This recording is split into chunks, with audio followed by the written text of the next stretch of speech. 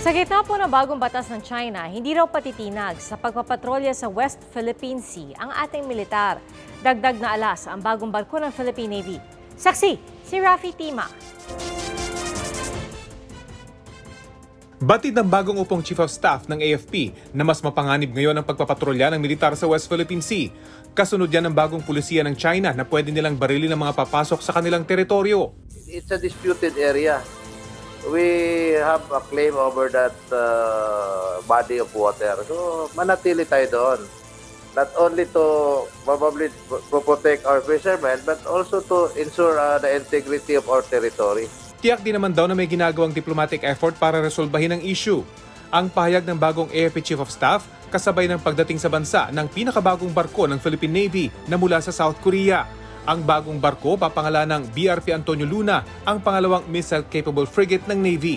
Sinalubong ng iba't ibang naval assets ng AFP ang barko malapit sa Capones Island sa Zambales. Ayon kay General Sobihana, hindi sila naghahanap ng away sa utos na dagdagan ng patrolya sa West Philippine Sea. Kung hindi sila makapagpangisda dyan sa lugar na yan, eh, anong may papakain nila sa kanilang pamilya? So that's our main uh, interest. No? At sa gitna ng issue sa gawa ng teritoryo at sa bagong batas ng China para sa Coast Guard nito, tiniyak ni US Defense Secretary Lloyd Austin III sa ating Defense Department ang commitment ng Amerika sa Pilipinas sa pamamagitan ng Mutual Defense Treaty. Ang target ng bagong AFP chief, mas mapalapit ang AFP sa taong bayan. Sa ilalim ng kanyang pamumuno, hindi raw pananakot ang kanilang magiging estilo. Uh, so we consider uh, everybody as our friends.